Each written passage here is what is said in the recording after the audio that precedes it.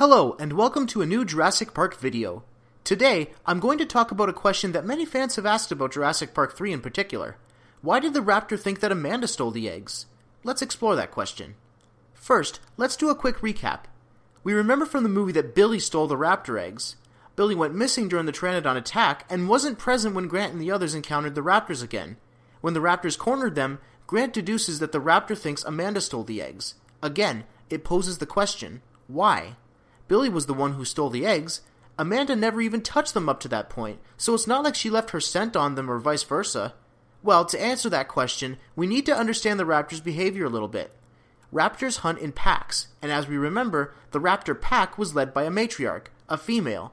This matriarch held command over her pack mates, as we see when Grant confuses the raptors. See how she's keeping that one raptor in line?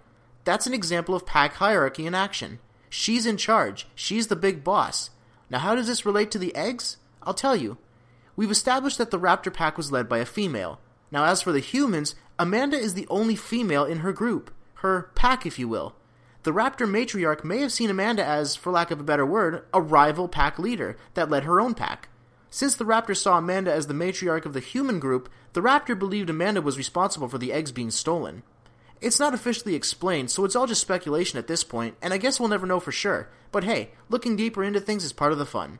And don't forget to check out DinosaurDetector.com, where you can find all kinds of dinosaur merchandise, such as figures, toys, t shirts, and the aptly named Dinosaur Detector mug. Watch out for ripples! There's something here for any dinosaur lover, and for a limited time, if you go to the website and use the code PRUTCHIK, you'll get 10% off your purchase. Every little bit helps. So what do you think? Why do you think the raptor thought Amanda stole the eggs? Talk about it in the comments. Thanks again for watching, and I'll see you again next video.